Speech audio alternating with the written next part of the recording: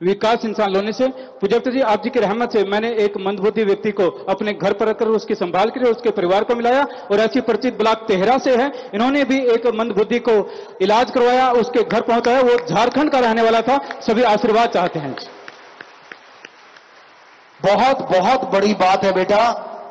वो इंसान जो पागलों की तरह रोड पे घूमते हैं और आपने उनको घर ले जाके उनका इलाज करवाया।